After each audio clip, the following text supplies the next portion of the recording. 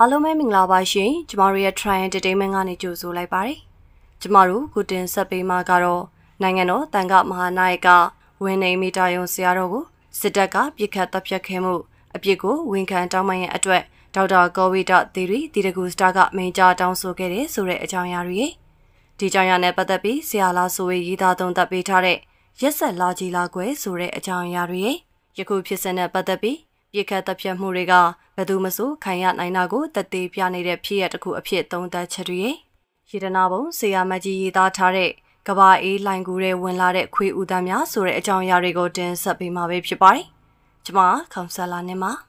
နိုင်ငံတော်တန်ခမဟာနာယကအဖွဲ့ဝင်ဝင်းနေမိတာယုံဆရာတော်ကိုစစ်ဖို့စစ်သားများကဝိုင်းဝန်းပစ်ခတ်တပ်ဖြတ်ခဲ့သည့်အဖြစ်ကိုဝန်ခံတောင်းပန်ရအတွေ့ဒေါက်တာကောဝီတာတီတီတီတကူစတာဆရာတော်ကလူမှုကွန်ရက်မှာတဆင့်ယမန်နေ့ညပိုင်းကမိန့်ကြားတောင်းဆိုလိုက်ပါတယ်။ ဇွန်လ19ရက်နေ့ငဇော်မြို့နယ်အတွင်တွင်ပဲခူးမြို့ဝင်းနေမိတာယုံကျောင်းလိုက်ဆရာတော်ကိုပြန်လွန်တော်မူသည့်အထိဖော်ကားပေါ်မှာစစ်ဖို့စစ်သားများကဝိုင်းဝန်းပစ်ခတ်ခဲ့ကြောင်းကားပေါ်တွင်အတူလိုက်ပါခဲ့တဲ့မြင့်မြင့်တသေးလည်းဖြစ်စစ်တပ်၏ပစ်ခတ်မှုကြောင့်တရားရရှိခဲ့သူလည်းဖြစ်သူ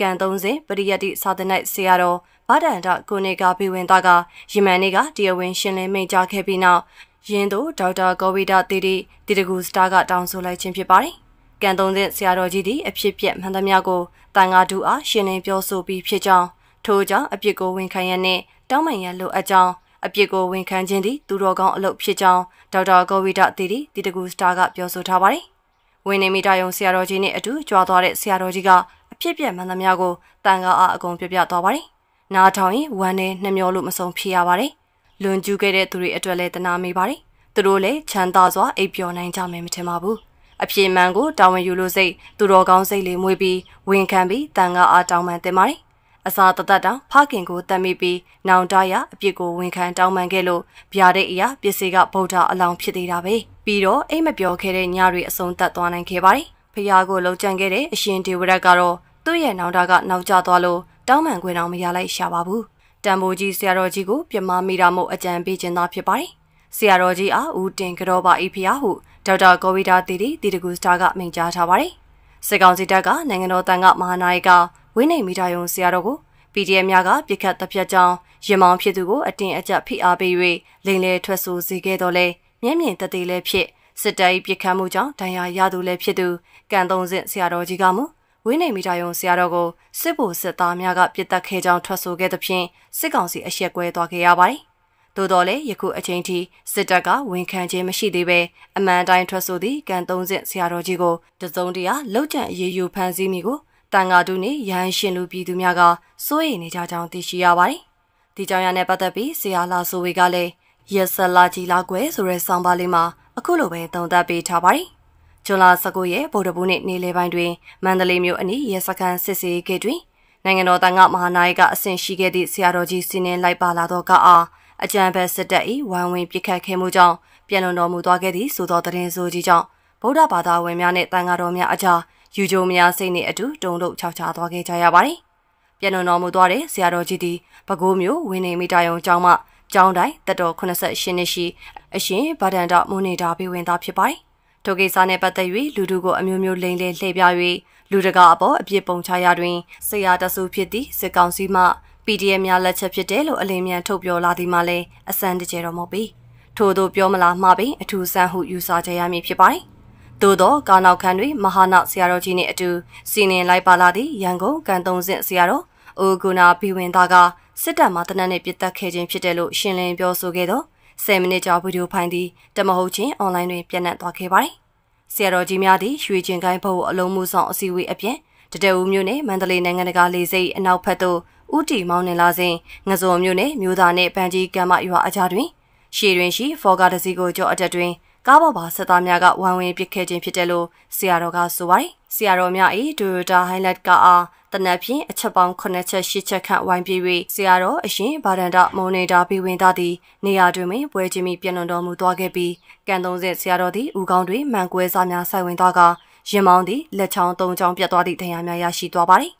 တင်ငန်းတွင်သူ၏အလူလူနှင့်ဆရာတော်ကကားပေါ်မှဆင်းလိုက်ပြီးခမည်းတော်ဖုန်ကြီးတွေကိုရက်ဆက်လာကြည်လားဟုဖော်ကားပေါ်ပါသည့်စစ်ဘူးစစ်သားများအားကြည်ကွဲစွန့်နေစွာပြောခဲ့ပါတယ်။၎င်းတို့မှာကားမှန်ချမထား၍ရန်သူထင်ပြီးပြစ်မိပါသည်ဟုဆိုပါတယ်။ဗဗိုလ်မှူးမုံမင်းဦးဦးဆောင်တဲ့စစ်ကောင်စီတပ်သားများသည်ငဇွန်မြို့နယ်အတွင်းပြည်သူတော်လှန်ရေးတပ်ဖွဲ့၏ခြုံခိုအတိုက်ခံရ၍ကြောက်လန့်တကြားပြန်ဆုတ်လာခြင်းဖြစ်တယ်လို့မြန်မာနောင်သတင်းတွေဖော်ပြထားပါတယ်။ နောက်ပိုင်းတွင်စင်သေးကိုစိတ်တည်ဖြင့်ဖုံးနိုင်ရန်ဆရာတော်အားနန်းတွင်သို့ခေါ်ဆောင်သွားကအကြိမ်ကြိမ်အထက်ထက်စစ်ဆေးပြီးဆရာတော်၏ဇာကြောင့်အား၎င်းတို့အလိုကျပြောင်းသွားရန်ကြိုးပမ်းခဲ့ကြတယ်လို့သိရပါတယ်။သို့သောနောက်ပိုင်းတွင်ဆရာတော်၏ဒိုင်ကဒိုင်ကာမများနှင့်ကျောင်းနေတန်ကတော့များအားရှင်းလင်းချက်ဗီဒီယိုဖိုင်ကြောင့်စစ်ကောင်စီလက်ချက်ဆိုသည်မှာဖုံးမရဖေးမရထွက်ပေါ်သွားခဲ့ပြီး၎င်းတို့၏အလိညာသတင်းထုတ်ပြန်ချက်ကိုလူလူရှိတွင်မှောက်လန့်ပြနိုင်ခဲ့ပါတယ်။ အပြင်သို့ပေါက်ထွက်လာသောစစ်ကောင်စီတပ်သားရေးဝန်ကြီးဌာန၏အစီရင်ခံစာတွင်လည်းကားကိုစစ်ကောင်စီတပ်သားများပစ်ခတ်ခဲ့ခြင်းဖြစ်တယ်လို့ပါရှိလာပါတယ်။နိုင်ငံတွင်ဖြစ်ပွားနေသောခုခံတော်လှန်ရေးစစ်ပွဲကြီးအတွင်းဂျာနေဝါဒကျင့်သုံးနေတဲ့တန်ခါအဖွဲ့အစည်းများအတွင်းပြင်းထန်စွာတုံ့လို့ခြောက်ခြားသွားခဲ့ပါတယ်။ဆရာတော်ဗန္ဒန္တမူနေတာပြီးဝင်သားသည်ရွှေကျင်ကိုင်း၏ဘိုးအလုံးမှုဆောင်လည်းဖြစ်ပြီးအဘိဓမ္မာအပါဝင်ဗုဒ္ဓကျမ်းဂန်များကိုပါဠိဘာသာဖြင့်ရေးသားထုတ်ဝေနေသည့်ထင်ရှားသောကျမ်းတက်ပေတဲ့ဆရာတော်ကြီးလည်းဖြစ်၍ ဗုဒ္ဓသာသနာအတွက်ကြီးမားသောဆုံးရှုံးမှုကြီးဖြစ်ပါတယ်။ဆရာတော်သည်အာနာသိမ့်ပြီးနောက်နိုင်ငံရေးနှင့်မပတ်သက်ဘဲနေခဲ့တော်လဲစစ်တပ်၏အာနာသိမ့်ခဲ့မှုသည်တိုင်းပြည်နှင့်လူငယ်မျိုးဆက်သည်များ၏အနာဂတ်ကိုဖျက်လို့ဖျက်ဆီးလုပ်ခဲ့ခြင်းဖြစ်တယ်လို့အခြားဆရာတော်ကြီးများနဲ့အတူပူးရဲပြီးကြီးညာချက်ထုတ်ပြန်ရတွင်ပါဝင်ခဲ့သူဖြစ်ပါတယ်။နိုင်ငံတွင်ဖြစ်ပျက်ခဲ့သမျှအလုံးသည်မင်းအောင်လှိုင်၏ယူသွမိုင်းမဲစွာအာနာသိမ့်ခဲ့သည့်လောက်ရ၏အကျိုးဆက်များကိုခံစားနေရခြင်းသာဖြစ်တယ်လို့ စကိုင်းနယ်တွင်ရှိလွမြောက်နေမြေတွင်နေထိုင်နေတဲ့အရှင်ပညာစွာရလင်္ကာရဆရာတော်ကမိန့်ကြားခဲ့ပါတယ်။ဆရာတော်ကြီးများအနေဖြင့်စစ်ကောင်စီလုံရများကိုပြောဆိုတတိပရန်အချိန်တန်ပြီးဟူလဲတိုက်တွန်းသွားခဲ့ပါတယ်။အမျိုးသားညီညွတ်ရေးအစိုးရကာကွယ်ရေးဝန်ကြီးဌာနမှဆရာတော်ကြီးပြည်လွန်တော်မူသွားခဲ့မှုအပေါ်လွန်စွာဝမ်းနည်းမိကြောင်းထို့သောဆရာဆွေးမှုကိုပြောင်းကြကြကျူးလွန်ခဲ့ကြရုံမကအမှန်ကိုဝန်မခံမဲပြည်သူကိုလိန်ညာလှည့်ပြ၍သတင်းထုတ်ပြန်ခဲ့သည့်စစ်ကောင်စီ၏ဟီဒီဥတပတရားကင်းမဲ့နေမှုကို ပြင်းထန်စွာဆန့်ကျင်ရှုံချကြောင်းသတင်းထုတ်ပြန်ခဲ့ပါတယ်။ယနေ့ထွက်ပေါ်လာသော AFP သတင်းအရဒေါ်ဆန်စုကြည်၏အသက်89နှစ်မြောက်မွေးနေ့တွင်ပြည်တွင်ပြည်ပမှဂျမားစီကြောင်းစုမွန်တောင်းခဲ့မှုနှင့်အတူဂျမား၏အပေါ်စိုးရိမ်မကင်းဖြစ်လာနေမှုများကြောင့်စစ်ကောင်စီရဲ့ပြောခွင့်ရစောမင်းထွန်းမှဂျမားရေးကောင်းမွန်ကြောင်းသူ့အတွက်အရင်စီစဉ်ပေးထားသည့်နေရာတွင်ရှိနေကြောင်းထုတ်ပေါ်ပြောဆိုခဲ့ရပြီးဖြစ်ပါတယ်။ သို့သောဆရာတော်ကြီး၏ဖြစ်စဉ်ကိုပင်ပြောင်းလဲခဲ့ကြသည့်အဖြစ်ကြောင့်မိမြအတိုင်းတာထိယုံကြည်၍ရမည်နည်းဆိုသည်က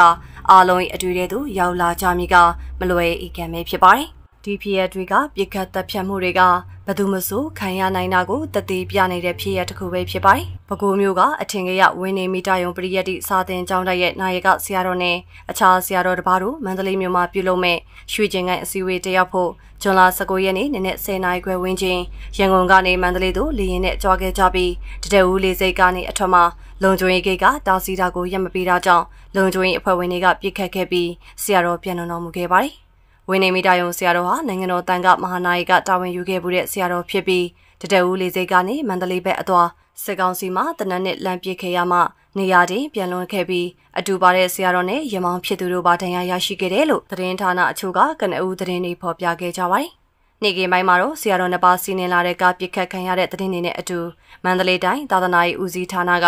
နေပြီးတော့သာသနာရေးဝန်ကြီးဌာနစီပေးပို့တဲ့ဌာနတွင်းစာတစ်စောင်မှာဆိုရှယ်မီဒီယာတွေပေါ်ပြန့်နှံ့ရောက်ရှိလာခဲ့ပြီး အဆိုပါစာအရာတတဲဦးလေးစိတ်အထွတ်မှာပြစ်ခတ်ခံရတာမဟုတ်ဘဲတတဲဦးလေးစိတ်ကနေဆရာတော်တစ်ပါးရဲ့စာတီးဖြစ်တဲ့ငစုံမျိုးနယ်ကပန်းချီကမ္မရွာမှာနှီးစွမ်းကက်လူတာကိုတွားရောက်စဉ်မြို့သားနဲ့ပကြီးကမ္မရွာအကြလန်ခီမှာလှည့်ကင်းလုံချိုးရေးတပ်ဖွဲ့တွေနဲ့တွေ့စဉ်ကားရက်ခိုင်းတာကိုရက်မပေးတာနဲ့ကားမှန်ချမထားတာကြောင့်လုံခြုံရေးတပ်ဖွဲ့တွေကပြစ်ခတ်ခဲ့ပြီးကားရှိကန်ကစီနင်းလာတဲ့ဆရာတော်ကိုထိမှန်ပြန်တော်မူခဲ့တယ်လို့ဖော်ပြထားပါတယ်။ စစ်ကောင်စီဘက်ကတော့ည၈နာရီသတင်းကြမှာအဖြစ်အပျက်ကိုလိုချင်တဲ့ပုံဖော်ရေးသားပြီး PDF နဲ့စစ်ကောင်စီလုံခြုံရေးတပ်ဖွဲ့တို့အကြားအပြန်အလှန်ပြစ်ခတ်မှုမှာ PDF ပြစ်ခတ်မှုကြောင့်ဆရာတော်ကထိမှန်ခဲ့ရတယ်လို့ထုတ်ပြန်ခဲ့ပါတယ်။ဒါအပြင်ဆရာတော်ရဲ့ကောင်းမောင်းသူကိုလည်း၎င်းတို့ထွက်ဆိုစီလိုတဲ့ဖြစ်စဉ်အတိုင်းထွက်ဆိုခိုင်းတယ်လို့ယူဆရတဲ့ဗီဒီယိုဖိုင်တက်တဲ့နဲ့ပြစ်ခတ်သေးဆုံးရမှုရဲ့လက်တဲ့အဖြစ် PDF အဖွဲ့တွေကိုပုံချစေခဲ့တာတွေ့ရမှာဖြစ်ပါတယ်။ ဝင်းနေမီတယုံဆရာတော်ဟာမြန်မာနိုင်ငံကဗုဒ္ဓဘာသာတန်ခါအဖွဲ့အစည်းတွေအနက်အမြင့်ဆုံးအဖွဲ့အစည်းဖြစ်တဲ့မဟာနာလို့အတူကောက်ခေါ်ဆိုတဲ့နိုင်ငံတော်တန်ခါနာယကအဖွဲ့ဝင်ဆရာတော်အဖြစ်တာဝန်ယူဘူးသလိုဗုဒ္ဓဘာသာကျမ်းစာဖွင့်ဆိုရေးသားရမှာထင်ရှားတဲ့ဆရာတော်အဖြစ်ကြော်ကြားတဲ့ဆရာတော်ဖြစ်ပြီးအသက်အားဖြင့်89နှစ်သားရှိသေးတယ်လို့သတင်းတွေမှာဖော်ပြကြတာတွေ့ရပါတယ် မြန်မာနိုင်ငံမှာလက်နက်ကင်တက်ခတ်မှုတွေဖြစ်ပွားလာပြီးနောက်အခုလိုပြစ်ခတ်တပ်ဖြတ်ခံရတာနဲ့ဖြစ်ရမျိုးတွေရာထောင်ကြီးဖြစ်ပျက်ခဲ့ပြီးဖြစ်တယ်လို့ဆိုရင်မှားမယ်မထင်ပါဘူးလက်နက်ကင်အဖွဲ့ဝင်တွေနဲ့တစ်ဖက်လက်နက်ကင်တွေပြစ်ခတ်တာအလစ်ငိုင်ဝင်ရောက်တက်ခိုက်တာဖန်စီရမိတဲ့အခါတရားဥပဒေစီရင်မှုတွေစီမရောက်စေတော့ပဲအဖြစ်ပြက်ထဲမှာတင်တော့၎င်းဖန်စီပြီးနောက်စစ်ဆေးမြင်မြန်စင်မတော့၎င်းတပ်ဖြတ်လိုက်တဲ့အဖြစ်တွေကပုံမှန်ဖြစ်နေကြဖြစ်ရတွေလို့မှတ်ယူလို့ရနေတာဖြစ်ပါတယ်။နောက်တစ်ဆင့်ဖြစ်တဲ့အရက်သားတွေကို PDF အဖွဲ့ဝင်အဖြစ်တော်၎င်း ရက်ရွာကောက်ွယ်အဖွဲ့ဝင်အဖြစ်တော်၎င်းသို့မဟုတ်အမျိုးသားဖြစ်ရုံအသက်အရွယ်အပြင်18နှစ်ဝန်းကျင်ကနေ90ကျော်60ဝန်းကျင်အတွင်းဖြစ်ရုံနဲ့ PDF တန်တရားနဲ့ဆွဆွဲတပ်ဖြတ်မှုတွေလည်းအဖြစ်ပြက်ပေါင်းရာနဲ့ချီဖြစ်ပျက်ခဲ့ပြီးဖြစ်ပါတယ်။တစ်ဖက်မှာလည်း PDF LDF အဖွဲ့တွေကလည်းတစ်ဖက်ကအတိုင်းအဝိုင်းရရွာမှာနေထိုင်သူမိသားစုဝင်ဖြစ်သူတွေကိုအယက်သားဖြစ်နေသည့်တိုင်စစ်ကောင်စီတောက်တိုင်တည်င်းပြီးဒလန်ဗျူစောတီအဖွဲ့ဝင်အဖြစ်ဆွဆွဲတပ်ဖြတ်မှုတွေလည်း စစ်ကောင်စီဘက်ကကျူးလွန်မှုတွေနဲ့မနိုင်ရှင်လောက်သည့်တိုင်ပမာဏတကူတည်ရှိနေတာလည်းဖြစ်ပါတယ်။ဒီလိုတန်တရားနဲ့တပ်ဖြတ်မှုတွေကားသို့မဟုတ်ဆိုင်ကယ်ကိုဒါရာမရက်ပြုံနဲ့တင်လက်လွတ်စပယ်ပြစ်ခတ်မှုတွေကစစ်မဲ့ဖြစ်ပွားမှုတွေအကြားနိုင်ငံရဲ့နေရအနှံ့ပြားမှာနေ့စဉ်လိုလိုအပတ်စဉ်လိုလိုဖြစ်ပျက်နေတာဖြစ်ပါတယ်။နေ့စဉ်သတင်းတွေထဲမှာသခိုင်းမကွေးမန္တလေးဂရင်းနီရှမ်းချင်းကချင်နဲ့တနင်္သာရီစတဲ့နိုင်ငံအနှံ့မှာတာမန်ပြည်သူတွေကကံမကောင်းအကြောင်းမလားသူတွေပြစ်ခတ်တပ်ဖြတ်ခံနေကြရတာဖြစ်ပါတယ်။ လေကြောင်းတက်ခိုင်းမှုကြောင့်တော့၎င်းလက်နက်ကြီးကြီးထိမှန်တာကြောင့်တေဆုံးရတဲ့အဖြစ်အပျက်တွေလည်းနေ့စဉ်ဖြစ်နေကြအဖြစ်အပျက်တွေလို့မထူဆန်းတော့တဲ့ဖြစ်ရပ်တွေလို့ဆိုနိုင်ပါတယ်။အခုဖြစ်ရပ်ကဘာသာရေးလဲဘာသာရေးနယ်ပယ်ကလူများစုကြီးဖြစ်တဲ့ဗုဒ္ဓဘာသာရဲ့အမြင့်ဆုံးအဖွဲ့အစည်းဖြစ်တဲ့နိုင်ငံတော်တန်ခနိုင်ကအဖွဲ့ဝင်ဆရာတော်ကြီးလူအများကလေးစားကြည်ညိုကြတဲ့ထင်ရှားတဲ့ကြံပြုဆရာတော်ကြီးလည်းဖြစ်တဲ့ဆရာတော်ဒီပင်လင်းစစ်ကောင်စီတပ်ဖွဲ့ဝင်တွေရဲ့အယက်သားတွေအပေါ်ပြူမှုနေကြပြစ်ခတ်မှုမျိုးကြောင့်ပြန်လွန်တော်မူရပြီး အခုဖြစ်ရကသတင်းကြီးတစ်ပုဒ်ဖြစ်ပေါ်ထွက်လာတာဖြစ်ပါတယ်စစ်ကောင်စီအနေနဲ့တော့သူ့လိုဖြစ်တဲ့လိန်ညာဝါဒဖြစ်ရမယ့်အလုပ်ကိုလုပ်ဖို့ဖြစ်စဉ်ဖြစ်ပျက်ပြီးနိုင်အတန်းကြာရမောင်ဖြစ်သူကိုပြန်ပြင်ဆင်ထားတဲ့ဖြစ်စဉ်ကိုပြောဆိုခိုင်းပြီးအဆင့်သင့်ဖြစ်ချိန်ကြာမှသာသတင်းထုတ်ပြန်လာတာဖြစ်ပါတယ်။ဒီဖြစ်စဉ်ကအလားတူတရားဥပဒေမဲ့တပ်ဖြတ်မှုတွေရာထောင်ကြီးရှိနေတာကိုကိုစားပြုတဲ့အဖြစ်အပျက်တရက်အဖြစ်သတင်းမီဒီယာတွေကဖော်ပြဖို့လိုအပ်ပါတယ်။ တရားဥပဒေမဲ့တပ်ဖြတ်မှုတွေကိုအများအပြားစစ်ကောင်စီတပ်ဖွဲ့ဝင်တွေဘက်ကကျူးလွန်တာဖြစ်တော့လေ PDF လက်နက်ကအဖွဲ့ဝင်တွေလိုမျိုးဘက်ကကျူးလွန်ခဲ့ရင်လေတာဝန်ခံမှုရှိဖို့အတွက်မချွတ်မချံဖော်ပြဖို့လိုအပ်တာဖြစ်ပါတယ်။ပြီးခဲ့တဲ့နှစ်တွေကစောနေကမိသားစုတစုကိုတပ်ဖြတ်ခဲ့တဲ့အဖြစ်လို့ချောင်းမျိုးနယ်ကြေးရွာတွေမှာအရွယ်မရောက်သေးတဲ့ကလေးတွေပါဝင်တဲ့ plastic ပလုံကောက်သူလူငယ်တွေကိုမဒိန်ကျင့်တပ်ဖြတ်အလောင်းဖြောက်ခဲ့တဲ့အဖြစ်တွေလိုမျိုးကိုလည်းဘလို့အရေးယူဆောင်ရွက်ထားခဲ့ပြီလဲဆိုတာသတင်းမီဒီယာတွေအနေနဲ့မင်းမြန်ဖော်ပြဖို့လိုအပ်နေတာဖြစ်ပါတယ်။ အခုလိုနိုင်ငံသည့်ထင်ရှားတဲ့ဆရာတော်တစ်ပါးကိုစစ်ကောင်စီတပ်ဖွဲ့ဝင်တွေရဲ့တရားလက်လွတ်ပစ်ခတ်မှုကဒီဖြစ်ရတခုတည်းကိုမိမောင်းထိုးပြတာထက်အလားတူရာထောင်ချီတဲ့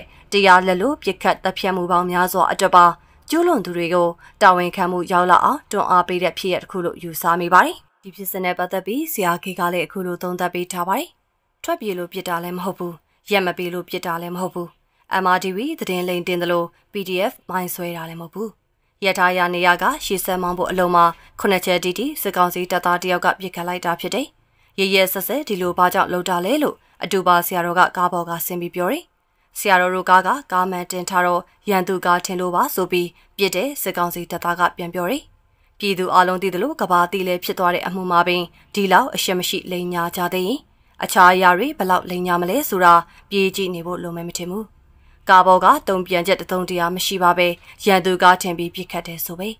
ထွက်ပြေးမိအထင်ဖြင့်ပြစ်ခတ်တယ်ဆိုရင်ထွက်ပြေးကားကိုလိုက်လံဖမ်းဆီးနိုင်တဲ့အစွမ်းမရှိဘူးလားဆိုတော့ရှိလည်းမရှိပါ၎င်းတို့လုံခြုံရေးနေရာကနေတလက်မမမရွေရဲတဲ့အထိကြောက်ရွံ့နေကြတာဖြစ်ပါတယ်ဒီလိုကြောက်ရွံ့စိတ်ကြောင့်ပဲယခုလိုဖုန်ကြီးတက်တဲ့အဖြစ်မျိုးကြုံရခြင်းဖြစ်ပါတယ်လိုင်းပေါ်နဲ့မြို့ပေါ်တွေမှာပဲမအားလာသားတွေအားကျနိုင်တာဖြစ်တယ်မြို့စွန်ဂိတ်တွေလုံခြုံရေးဂိတ်တွေမှာဆိုရင်ဓမြလဲတိုက်ချင်း အကြောက်တရားကလည်းစိုးမိုးလျက်ပဲအမှန်တကယ် PDF ကားကဝင်ပြရင်လဲလိုက်လံပစ်ခတ်ရဲခြင်းမရှိဘူးဒါကြောင့်၎င်းတို့အဆောင်ကြရအနေအထူးသတိထားဖို့လိုပါတယ်ဒီကောင်တွေကမိမိအရေးကိုပင်တစေတရေထင်ပြီးလန့်နေသူတွေဖြစ်ပါတယ်အမှန်အမှားမခွဲခြားနိုင်တော့တဲ့အထိအကြောက်တရားစိုးမိုးနေကြတာဖြစ်ပါတယ်ဘာပဲဖြစ်ဖြစ်ယဟန်သက်စစ်တပ်ဖြစ်တာယခုမှမဟုတ်ပဲရှက်ပြပြီးဖာမနေကြပါနဲ့ရခင်ကလည်းတက်ခဲ့တယ်နောင်လည်းတက်အောင်ပါပဲ မိုးကြိုးကိုထန်လျက်နဲ့ကလည်းအပိုပါပဲလို့ဆရာကြီးကသုံးသပ်ပေးထားပါတယ်။ဒီဖြစ်စဉ်နဲ့ပတ်သက်ပြီးနိုင်ငံရေးလေးလာသုံးသပ်သူတွေရဲ့ယူဆချက်တွေနဲ့ပါကြီးအောင်အလီရေးသားသုံးသပ်ပေးထားတဲ့ဝင်းနေမီတာယုံဆရာတော်ကြီးပြည့်ခတ်ခံရမှုဖြစ်စဉ်အမှန်နဲ့ຫນွေဦးသတင်းလိန်ကဏ္ဍဆိုတဲ့သုံးသပ်ချက်တွေကိုလည်းမျှဝေပေးပါမယ်။ဒါကတော့နိုင်ငံရေးလေးလာသုံးသပ်သူတွေရဲ့ယူဆချက်တသက်ဖြစ်ပါတယ်။စာကားစာဟာဝင်ချတောင်းပန်တဲ့လမ်းကိုယူမယ်လို့ယူဆတယ်။တခြားလမ်းယူစရာသိမရှိပါဘူး။ လက်ရှိအနေအထားအရညင်းလေပိုဆိုလေကြောင်ပိတ်မိလေတန်ငါဒုနဲ့ထိတ်တိုက်တိုးလေးဖြစ်နေတဲ့အတွက်ဒီလန်းကိုရွေးဖို့များပါတယ်။တခြားလန်းရွေးနိုင်ခြေရှိတာမျိုးမတွေ့မိဘူး။ဝင်ချတောင်းပန်နေဆိုတဲ့အနေထားမှလည်းတရဝင်းဝင်ချတောင်းပန်တာမျိုးမလုပ်သေးပဲစကားခံဝင်ချတောင်းပန်တာမျိုးဖြစ်ပါလိမ့်မယ်။ဆရာတော်ဇာပနာပြီးမှသာတရဝင်းဝင်ချတောင်းပန်တာမျိုးလည်းဖြစ်လာနိုင်ပါတယ်။ဒီနည်းနဲ့အဖက်ပြန်ဆင်နိုင်ပါတယ်။အောက်ကလှုပ်ကြံသတင်းပိုးတဲ့အတိုင်းအထက်ကမသိပဲသတင်းထုတ်ပြန်မိတာပါလို့ ဖင်ပိတ်ညင်နိုင်ကြီးရှိလာမှာပဲဖြစ်ပါတယ်။လက်သက်တရခန့်ဖြင့်ပြစ်ခတ်လိုက်တဲ့စစ်ကွေးစစ်ဘိုလ်အဖွဲ့အပြင်စစ်ကြောရေးမှာပါဝင်ခဲ့သူအလုံးနဲ့နောက်ဆုံးတိုင်မှုအထိထိုးကြွေးချနဲ့ထုတ်ပဲထောင်ချတသက်တကြွအရေးယူခံရနိုင်ခြင်းရှိပါတယ်။ဒီတိုင်းဖြစ်လာဖို့နှီးစက်တဲ့တစ်ချက်ကတီတကူစတာဆိုတဲ့ဘုံကြီးတစ်ပါးကဝင်ချတောင်းပန်ပြီးအပြစ်ခံယူတင်ကြောင်းလမ်းဟပေးထားတာကတွေ့ခဲ့ရပါတယ်။ဝင်ချမတောင်းပန်မှုဆိုရင်နောက်ဆက်တွဲကြရကြီးသွားပါလိမ့်မယ်။ကာသမားကအတင်းတိုးလို့ပြေးရတာပါ။ ဖုန်ကြီးမှမသိလို့ပြင်းမိတာပါလို့ညင်နိုင်သေးပေမဲ့ PDN နဲ့တိုက်ပွဲဖြစ်ကာမောက်ကဲဆဲထုံစတဲ့သတင်းလိမ်ညာလွှဲချတာကိုညင်လို့မရတော့ပါဘူးဒီနေရာမှာဝက်ဖဲတစ်ချက်ရှိနေပါသေးတယ်ပြစ်ခတ်ခံရတဲ့ကားကိုအခုထိမမြင်ရသေးပါဘူးဆရာတော်ရဲ့ဖုန်းတွေကိုအကုန်သိမ်းသွားတဲ့အတွက်စာကာစာကာသာမထုတ်ပြန်ရင်ကားပုံကိုမြင်ရနိုင်ခြင်းမရှိတော့ပါဘူးအကယ်၍သာသာသနာလိုင်းစဉ်ကြောင်တိုက်စတစ်ကာပါရင်မတီးလို့ပြင်းမိတာကအလိန်ပေါ်အလိန်ထက်စင်တာပေါ်ပါလိမ့်မယ်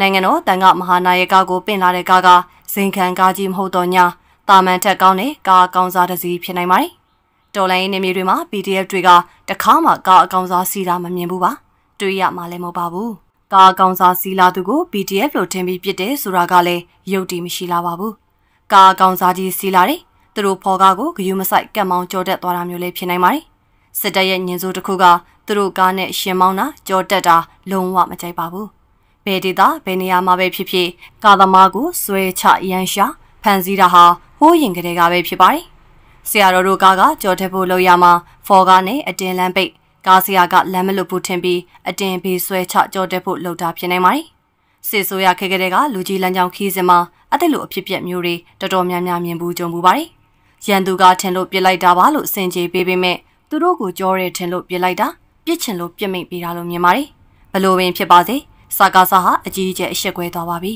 ။အမျိုးဘာသာသာသနာလို့အတန်ကောင်းဟင်းနေတဲ့စာကာစာအဖို့သူလူတွေရှိမှမျက်နှာပုံကွာကြသွားတာဖြစ်ပါတယ်။ဝင်ချတောင်းပန်သည့်တိုင်စာကားစလိန်ရအောင်ပါပါပဲ။တိုင်မှုအဆင့်တီဖြစ်စဉ်ကိုအထက်ထက်ခါခါစစ်မေးသိရှိထားလျက်နဲ့အထက်ကမသိပါဘူးလို့ပြောင်းလိန်တာမျိုးထပ်မံမြင်ရနိုင်ခြင်းရှိပါတယ်။ဆလပီဘာဂျီအယ်အလီကလည်းဝင်းနေမီတာယုံဆရာတော်ကြီးပြစ်ခတ်ခံရမှုဖြစ်စဉ်အမှန်နဲ့ຫນွေဦးသတင်းလိန်ကဏ္ဍဆိုပြီးအခုလိုသုံးသပ်ပေးထားပါတယ်။ ဝင်းနေမီတာယုံဆရာတော်ဖျားကြီးပြစ်ခတ်ခံရတာနဲ့ပတ်သက်ပြီးစာဗနာခင်းကျင်းထားတဲ့နေရာကိုစစ်ကောင်စီရဲ့တာဝန်ရှိသူတွေကလာရောက်တောင်းပန်တယ်လို့နိုင်ငံတကာသတင်းတွေမှာဖော်ပြပါတယ်။သို့ပေမဲ့စစ်ကောင်စီဘက်ကတော့သူတို့လှုပ်တာမဟုတ်ဘဲ PDF တွေအပေါ်လွှဲချလိမ့်နေပြီးသတင်းထုတ်ပြန်ခဲ့ပါတယ်။အခုချိန်ထိသူတို့တင်ထားတဲ့သတင်းဟာမှာယွင်းပါတယ်လို့မထုတ်ပြန်သေးပါဘူး။နိုင်ငံတကာသတင်းဌာနတွေကဝင်းနေမီတာဆရာတော်ပြစ်ခတ်ခံရတာနဲ့ပတ်သက်ပြီးဘယ်သူလက်ချက်လဲဆိုတာ အမှန်ကိုဝန်ခံမှုဆက်သွဲပြောပေမဲ့ပြောရေးဆိုခွင့်ရှိသူဇော်မင်းထွန်းကဖုန်းမကင်ဘူးလို့ဆိုပါတယ်။ဆရာတော်ကြီးနဲ့အတူပါလာတဲ့ကန်သုံးစစ်ဆရာတော်ရဲ့ကိုရီအဖြစ်ပြက်အရာစစ်ကောင်စီရဲ့လုံခြုံရေးတပ်ဖွဲ့တွေဟာရန်သူထင်ပြီးပြစ်ခတ်ခဲ့တာလို့ကန်သုံးစစ်ဆရာတော်ကဆိုပါတယ်။တတဦးလေးစိတ်ကနေဆရာတော်ကိုပင်ဆောင်လာတဲ့ကားကိုဖော်ကားဘော်ကစစ်ယူနီဖောင်းဝတ်လက်နက်ကင်တွေကတနက်ရှစ်ချက်ခန့်ပြစ်ခတ်ခဲ့ပြီးဆရာတော်ကြီးဟာနေရာမှာတင်ခေါင်းငိုက်ဆိုင်ကြပြန်တော်မူသွားခဲ့ပါတယ်။ကန်သုံးစစ်ဆရာတော်ကတော့ သင်ငန်းတွေမှာသွေးတွေစွန့်ပေးနေရက်နဲ့ခမရတို့တန်ဃာတွေကိုဒီလိုလုပ်ရသလားလို့ပြောတဲ့အချိန်မှာတပည့်တော်တို့ရန်သူထင်လို့ပြစ်မိတာပါလို့ပြန်ပြောပါတယ်။ဒါပေမဲ့စစ်ကောင်စီရဲ့သတင်းထုတ်ပြန်ရေးဌာနကတော့ဒီကိစ္စအတွက်ဝန်ခံတာတောင်းပန်တာမရှိသေးပါဘူး။ဆရာတော်ကြီးရဲ့ဇာပနာခင်ကျင်းထားရာကျောင်းတိုက်ကတန်ဃာတွေကိုပဲတူတူတိတ်တိတ်တောင်းပန်တယ်လို့ဝင်းနေမီတာယုံကျောင်းတိုက်ကဆရာတော်အချို့ကနိုင်ငံတကာသတင်းဌာနတွေကိုပြောကြားထားပါတယ်။ မတုံသက်သေးခင်မှာຫນွေဦးတော်လိုင်းကာလသတင်းတင်တဲ့အကောင့်တွေနဲ့ပတ်သက်ပြီးထင်တယ်လို့စိတ်ပါဝင်စားအောင်တကြွမှုဖြစ်အောင်စိတ်ဓာတ်လှုံ့ဆော်မှုဖြစ်အောင်တသက်နဲ့ပွဲလန်တို့မှာဖျားမခင်စေချင်ပါဘူးဆရာတော်ကြီးပြစ်ခတ်ခံရချိန်မှာကိုရိုင်းတွေ့နေတယ်လို့လို့နဲ့ဖြစ်စဉ်ကိုတင်ပြအသိပေးတဲ့ post တွေတွေ့ရပါတယ်။ကားကိုတားတယ်။တန်ငါလာလို့မေးတယ်။တန်ငါဆိုရင်ပြေးရွပြခိုင်းတယ်။ပြေးမရနိုင်ဘူးပြောလို့ပြတ်တတ်တယ်ဆိုတဲ့ post တွေမျိုးဖြစ်ပါတယ်။မိုးရင်ရေးသားသူကိုတော့မသိပါ။ ကျမတို့ရဲ့ຫນွေဦးတော်လိုင်းမှာစစ်ကောင်စီရဲ့သတင်းလိမ်တွေကိုနိုင်ငံတကာကလည်းတည်ထားပါတယ်။ဒီတော့ကိုဘက်ကသတင်းတင်သူတွေကလည်းယူသားဖို့လိုအပ်ပါတယ်။ဖြစ်စဉ်တစ်ခုကိုတွေးလိုက်တာနဲ့မျှဝေသူစိတ်ဝင်စားသူအတိမတ်ပြုသူများရင်ပြီးရောဆိုပြီးမတင်သင့်ပါဘူး။ကိုဘက်ကကန်သုံးစစ်ဆရာတော်ရှိနေခဲ့လို့အဖြစ်မှန်ကိုနိုင်ငံတကာကသိရတာဖြစ်ပါတယ်။ဆိုတော့တတတဲဦးလေးစိတ်ကစစ်ကောင်စီစိုးမိုးထားတဲ့နေမြေဖြစ်ပါတယ်တတဲဦးမြို့သားလမ်းပိုင်းဟာ စစ်ကောင်စီရဲ့ VRV လမ်းကြောင်းနေစဉ်လိုလိုရှိတဲ့အတွက်လုံခြုံရေးတင်ကြပ်ပါတယ် PDF တွေဟာတတဲဦးနယ်မှာဖော်ကားနဲ့အုပ်စုလိုက်ကြီးလမ်းပေါ်မှာရပ်မနေနိုင်ပါဘူးဒါကြောင့်ကန်သုံးစစ်ဆရာတော်ကိုယ်တိုင်မြင်ခဲ့ရတဲ့အတိုင်းဆရာတော်ကြီးကိုပြစ်ခတ်သူတွေဟာစစ်ကောင်စီရဲ့လက်အောက်ခံလုံခြုံရေးတပ်ဖွဲ့တွေလို့အသေးချာပြောနိုင်ပါတယ်။နောက်တစ်ခုကတော့စစ်ကောင်စီဟာဆရာတော်ကြီးကိုတည်တည်ချာချာလှုပ်ကြံခဲ့တာလားဆိုတာကိုလည်းစဉ်းစားရပါမယ်။ဘာကြောင့်လဲဆိုတော့ဆရာနာသိန်းနဲ့ခင်မှာမြန်မာပြည်မှာတရားဟောတဲ့ဆရာတော်တွေများပေမဲ့ ဖယားဟောထားသလိုနှလုံးသားတဲ့အထိရောက်အောင်ဟောနိုင်တဲ့ဆရာတော်ကရှာတယ်။ကိုယ်တွေနဲ့ကိုထင်ရဖြစ်ဆွဲပြီးဟောနေကြတယ်။ဒါကြောင့်လေမြန်မာပြည်ဟာဒီလိုဒုက္ခတွေနဲ့တွေ့ကြုံနေရတာ။ဘုံကြီးကတော့တကားတကားမတွေခံစားနေရတဲ့ဒုက္ခတွေကိုခံစားရခက်လို့ဘလို့နေရမှန်းမသိပဲကိုယ်အလုပ်တရားကိုလုပ်နေရတယ်။အတီးကြဟုတ်ချင်မဟုတ်နိုင်ပေမဲ့အတိတ်ပဲထပ်တူတက်ရောက်တဲ့စကားတွေကိုဆရာတော်ကြီးကဟောကြားခဲ့ပူပါတယ်။ဆိုသလိုဆရာတော်ကြီးဟောတဲ့တရားကဆရာနာသိန်ခင်မှာတော်တော်လေးကိုထိမိတဲ့တရားပဲဖြစ်ပါတယ်။ ဆရာတော်ကြီးဟာတခြားနာမည်ကြီးဆရာတော်တွေလိုဆယ်လီဖြစ်ခြင်းစိတ်မရှိပဲဝင်းနေနဲ့အညီနေထိုင်လို့ဆရာတော်ကြီးဟောထားတာတွေကိုလူတွေသိပြီးမသိကြတာဖြစ်ပါတယ်။ဒီတော့စစ်ကောင်စီနဲ့ပလဲနံပါတ်တင်နေတဲ့နာမည်ကြီးဖုန်ကြီးတွေရောဒီကိစ္စမှာပါဝင်ပတ်သက်နေသလားဆိုတာကိုမြန်မာနိုင်ငံသားတွေအနေနဲ့ရောကမ္ဘာအတိုင်းဝိုင်းအနေနဲ့ရောဖြစ်စဉ်အမှန်ကိုဆက်လက်ဖော်ထုတ်နိုင်ဖို့လိုအပ်ပါပြီ။ဆက်လက်ပြီးရတနာဘုံဆီယာမတ်ကြီးရေးသားမျှဝေလာခဲ့တဲ့ကဘာအေးလိုင်ကူထဲဝင်လာတဲ့ခွေဦးတန်းများဆိုတဲ့အကြောင်းအရာတွေမှာတော့ ရွှေကျင်ကိုင်းကိုရိုင်းကဖြစ်ဖြစ် smiling ကိုတော့ဂိုင်းလုံးဖခင်အရှင်ကြီးကပဲဖြစ်ဖြစ်တန်ကဖာသာမဟာနာဆရာတော်များကဖြစ်ဖြစ်မာဘာသာခေါ်ဆိုသာသနာကိုအချစ်ဆုံးပုဂ္ဂိုလ်တော်ကြီးတွေကဖြစ်ဖြစ်စစ်သေးနာတွေရဲ့အဖြစ်ကိုတေချာပြောရဲဖို့ကဖျားတဆူပွင့်မှုထက်ခဲရင်နိုင်ကြသည်၏စော်မဲလုံးရဲ့ထုတ်ပြန်ချက်ကိုလွန်ဆန်အားခံ၍စာစီပြန်ရင်လဲနိုင်ငံတော်အကြီးညိုခံဆရာတော်ကြီးများသည်နိုင်ငံတော်အကြီးညိုပြည့်စုံမှုမြောက်သွားနိုင်ပေရသည် မထုတ်ပြန်ရင်လေမူသာဝရဝေရာမဏိနှင့်ညီနိုင်ရောမကပါနာတိပတ်ဖုန်ကြီးတက်မှုများအားပေးရာရောက်ချေသည်တမို့ယခုအခါတွင်မအားလာရဲ့လက်ရဲစရဲ့စေကွဲအယမှုဘလူစိတ်သွင်းလူသက်ချင်းများသည်ကဘာအေးတကားဝပင်ရောက်လာချေပြီရွာမအေးသလိုကဘာလည်းမအေးတော့ပြီကြောပြီးမမြင်ကြအောင်ဟန်ဆောင်ဇလန်ဖုံးတော်ကြီးကန်လဲတခန့်ရက်ပြီအေးရင်ကျူငါပြီးအငိုဆက်သွင်းစရာမလိုလူတွေလိုပဲတန်ကားတွေလည်းငိုကိုငိုနေကြရပြီ ငိုတန်ကိုတန်ဝေကတန်နဲ့ဖုံးပေးမယ်အပူလုံးကတော့ဖုံးမရပြုံးမရဖုံးကြီးဘဝလည်းခါရပြီပြိုပြက်သွားတဲ့ဖရာကြောင့်ကန်တွေနဲ့ပြောင်းဆက်နေတဲ့သာသနာအဖြစ်ဆိုကိုမတိကြိုးကျွန်းဆက်ပြုတ်နေဖို့တော့ခက်လေပြီတကားတန်ကားတွေဘာလောက်ကြမည်နည်းဆရောကြီးများဘာမိန်ကြမည်နည်းမာလာနဲ့စစ်တပ်ကိုဩဝါဒမပေးဘဲဩဃာသာဆိုလက်အုပ်ချီကြတော့မလားသာသနာတရားကဆိုပြီးတန်ကအပေါ်ချလာတဲ့ဘေးရန်အန္တရာယ်အရှင်တိုင်းပြည်မိတိုက်သခင် ပြည်သူသက်ဘရင်ရဲ့လက်ကိုဆက်လက်တွဲကိုတန်သားလေးစုံတိုင်းတချင်းဆိုနေကြအောင်မလားတကယ်ဒုက္ခသည်တကယ်သာသနာဒါယကဒါယကမများနဲ့အတူဘဲကလောက်မွဲမွဲတစွန်တယောက်မှအမြဲလောင်းလူမပြတ်ခဲ့ကြတဲ့တော်လန်ပြည်သူများနဲ့အတူရကြတော့မလားခနေ့အချိန်လေးမှာအမျိုးဘာသာသာသနာလည်းမကားကွယ်တိုင်းပြည်ကိုလည်းမဆောင်ရှောက်အားလုံးအိုရောအိမ်ရောကြောင်ရောကန်ရောဖရာရောတရားရောအသက်ရောအနာဂတ်ရောပြောက်အောင်လုပ်နေတဲ့ မိစ္ဆာဆောက်ယူစစ်ဘလူးဆိုတာထူပြီးလင်းစရာမလိုတော့အောင်ရှင်းနေပြီမို့မာဘာတာတွေလည်းမလာကိုအဖေခေါ်တာရက်ချိန်ရောက်ပြီလို့ဆိုလိုက်ရကြတည်းโอเคပါရှင်ကြည့်ရှုနားဆင်ပေးခဲ့ကြတဲ့အတွက်အထူးပဲကျေးဇူးတင်ရှိပါတယ်ကျမတို့ရဲ့ channel လေးဟာနိုင်ငံအရေးနဲ့ပတ်သက်တဲ့စိတ်ဝင်စားဖွယ်ရာအကြောင်းအရာတွေနဲ့ဘဝတုဒရဖွယ်ရာတွေကိုတင်ဆက်ပေးသွားမှာဖြစ်တဲ့အတွက်